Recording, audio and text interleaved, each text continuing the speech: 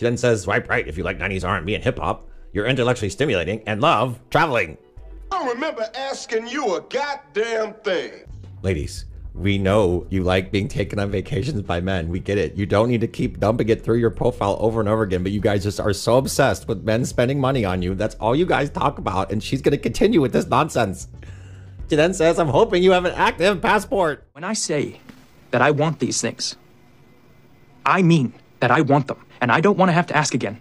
Man, why don't you take yourself traveling if you love to travel so damn much? By the way, she's Des. I got beans, greens, potatoes, tomatoes, lamb, lamb, raw, raw, beans, greens, potatoes, tomatoes, chicken, turkeys, rat, you name it. She's like, I wanted Chad to take me traveling. See, why would he, ma'am? He'll just date younger women who don't have kids and don't expect. See, here's the thing. Let's take a step back. Again, it's the expectation of it. If a guy, his whole profile, and I've roasted a few guys' profiles, but if a guy had his profile just talks about bedroom fun the whole time, how would you ladies like it?